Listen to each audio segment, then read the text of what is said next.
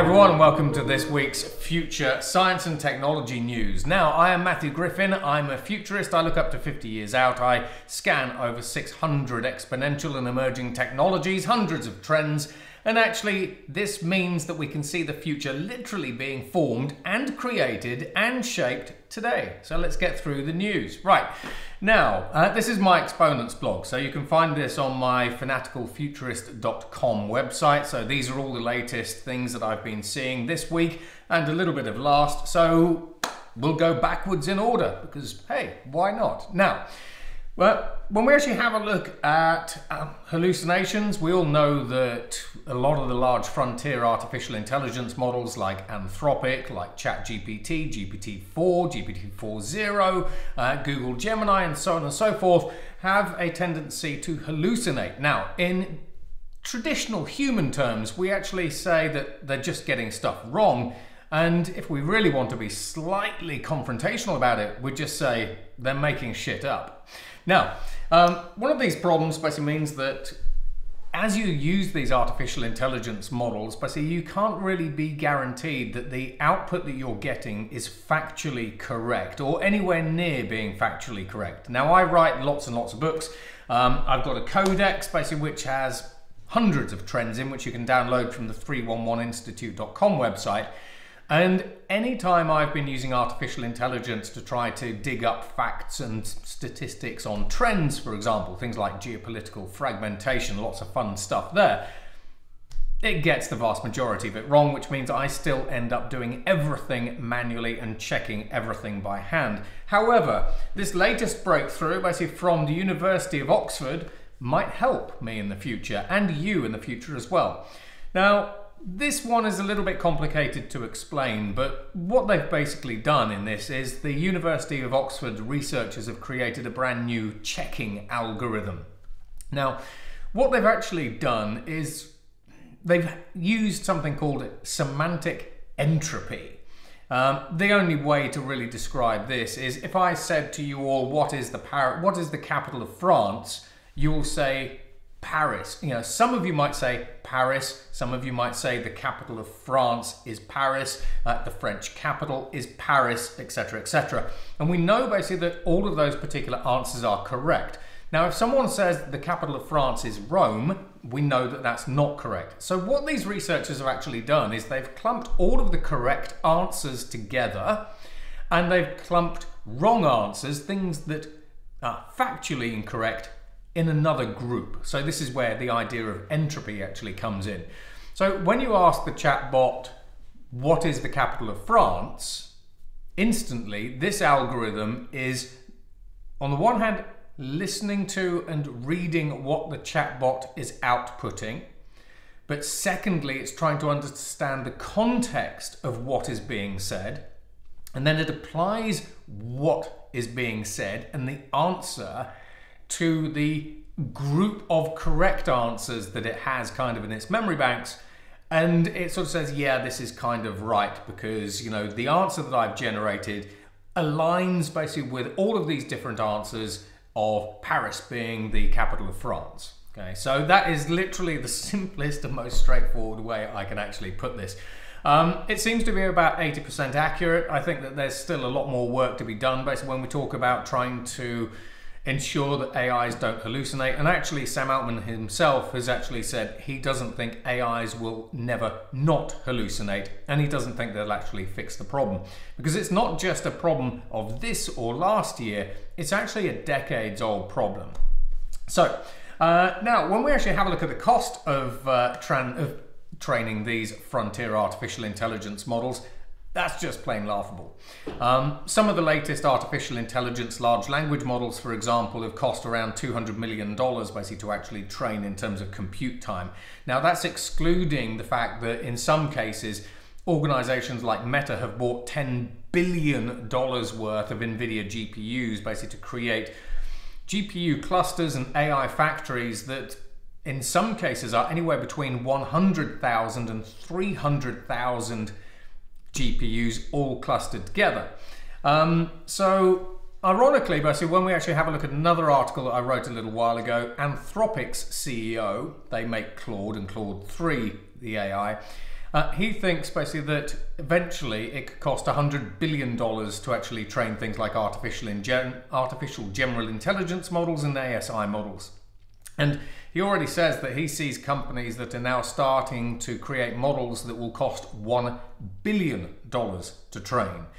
But set against that, what we see is we see a habit in the West of creating continuously larger artificial intelligence models that obviously cost more in terms of compute to train. Whereas in China, they're trying to create more efficient artificial intelligence models, mainly because they can't get access to GPUs because uh, those are under sanctions at the moment. So, ironically, I think if the West continues this desire to create increasingly large models and create large models over efficient models, and some of the efficient models that we're seeing coming through now are called small language models, then we're going to lose out to China. Uh, because ultimately, the end goal is to create artificial intelligence models that are able to run effectively on end devices with minimal compute, min minimal energy and water footprints and all that kind of stuff. See, so um, now, ironically, again, talking about China, um, when we have a look at some of the latest statistics out of China, it's estimated that China is leading the world in around 90% of emerging technology research, but also emerging technology field research. You know, so a technology is AI, a field is the use of artificial intelligence in, uh, for example, precision agriculture, that kind of thing.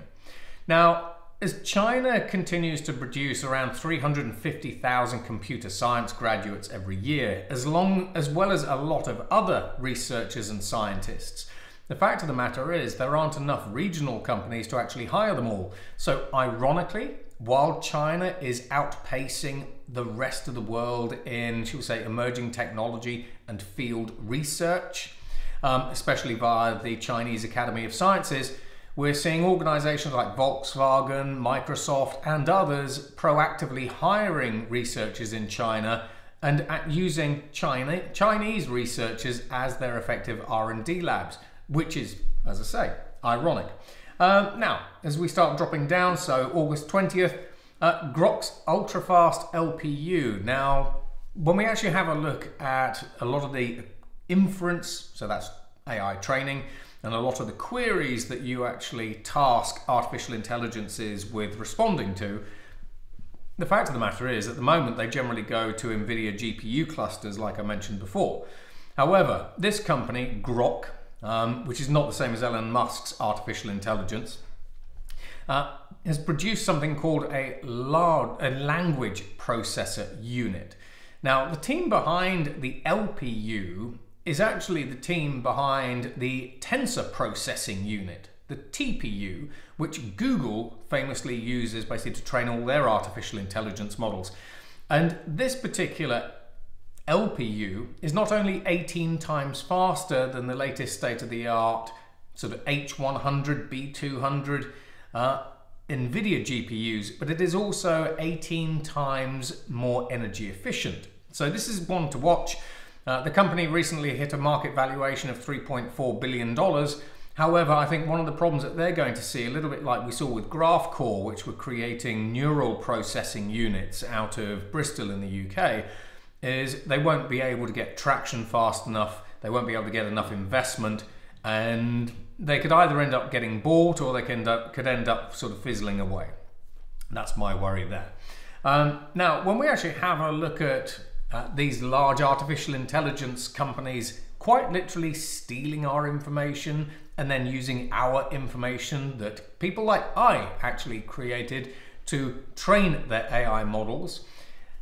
The person who, well, the guy basically who invented the internet's business model, aka the advertising business model for the internet, chap called Bill Gross, you really have to thank him, don't you, for that business model has now thought up a, a new business model, but for artificial intelligence. So this one's quite interesting. I think it's got legs. Um, now, this new business model basically for artificial intelligence is rather than stealing data um, or using data that companies haven't paid for or using other artificial intelligence services, he actually thinks basically that using AI as a pay as you go service is quite interesting. uh, as well as data as you go service. So he's already got organizations like Universal signed up to it and all sorts of stuff. So essentially, what he's trying to do is he's trying to create a business model for artificial intelligence that he believes actually works basically for the artificial intelligence community as well as us consumers, as well as the companies basically whose data is being mined. Um, now, when we have a look at India, one of the things that we've actually seen around the world is recently we saw a 125% increase in the number of cyber attacks around the world. That's only going one way. And that means that in India, along the lines of Russia, the UK, the USA, Japan, as well as obviously China with the Great Firewall of China, people in India are starting to consider whether or not India needs its own sovereign internet. Now, what we mean by a sovereign internet is a is a country's internet that you can just disconnect from the broader World Wide Web. You know, you flick a switch and suddenly everyone that is attacking you from outside of India can't get access. Russia a little while ago but they actually managed to turn off access to its sovereign internet in an experiment about two years ago. Um, but the problem with that is when you create a sovereign internet, on the one hand, it generally starts operating on different standards, different protocols, and everything else.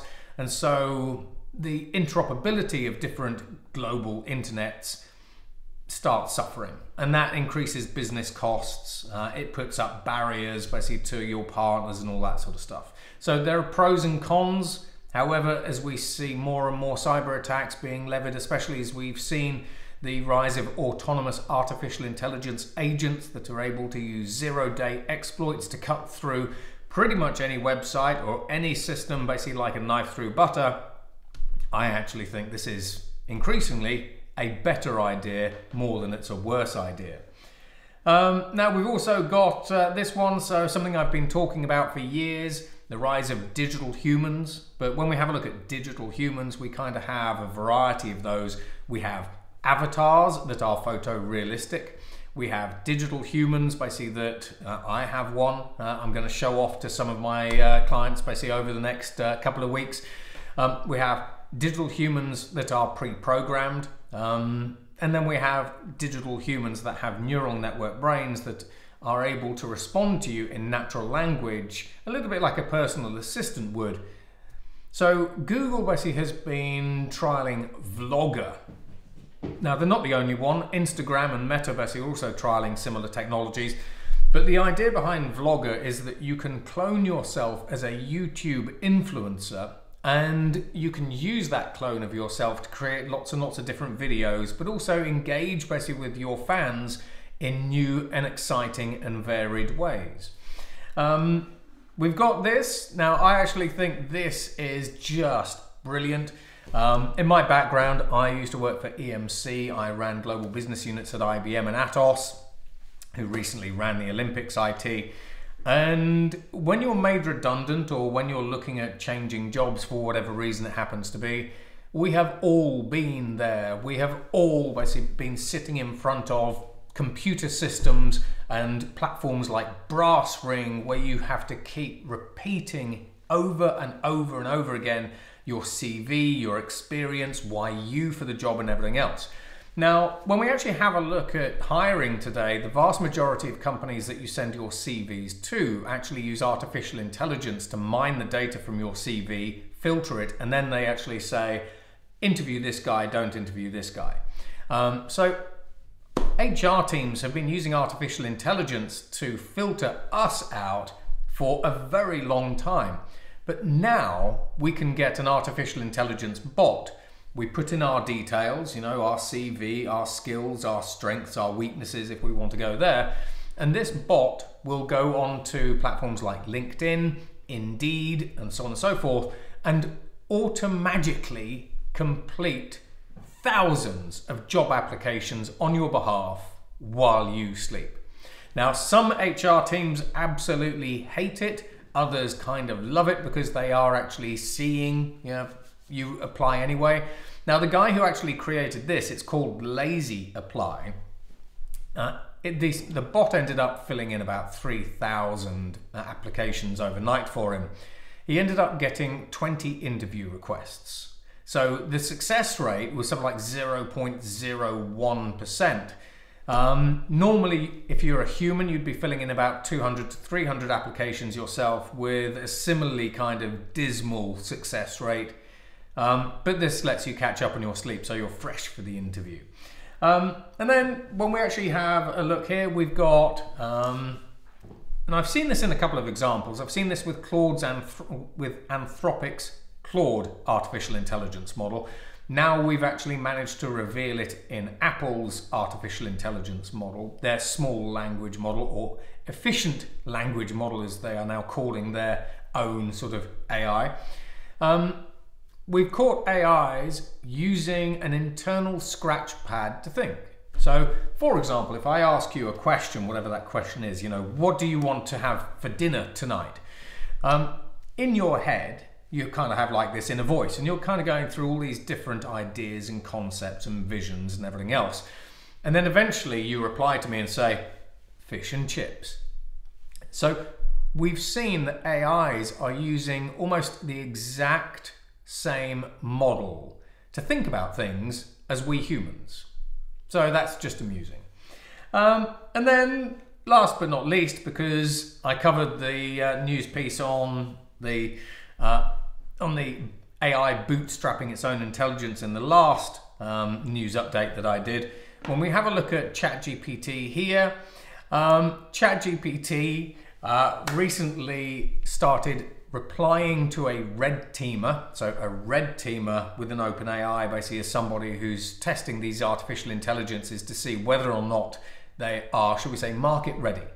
Um, so whether they're hallucinating, whether they are safe, you know, all those kinds of things and um, using something called an audio prompt injection attack, which in this case was purely accidental, the AI started responding back to this researcher using his own voice.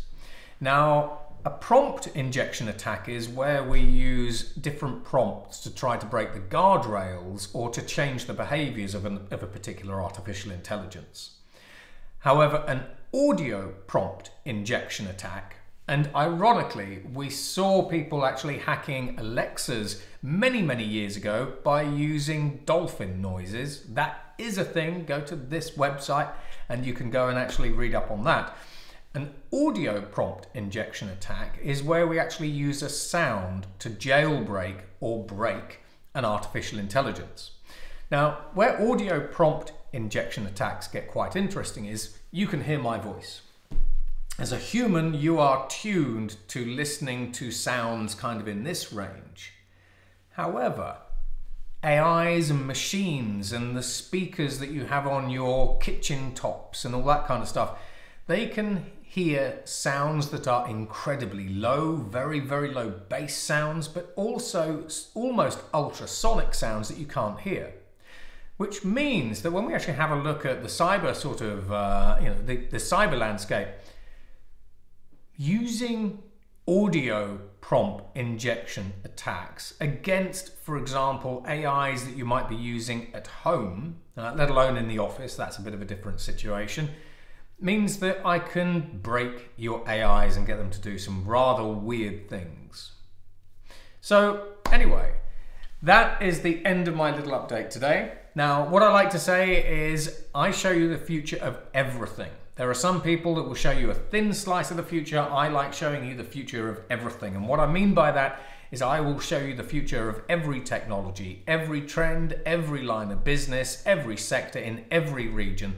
And if you've actually liked what you heard, then like and subscribe, all that kind of stuff. You can download a lot of my free books from 311institute.com forward slash insights where there are about 10,000 pages worth of trends, technologies that frankly I would be very surprised if you could actually even imagine that we've already developed.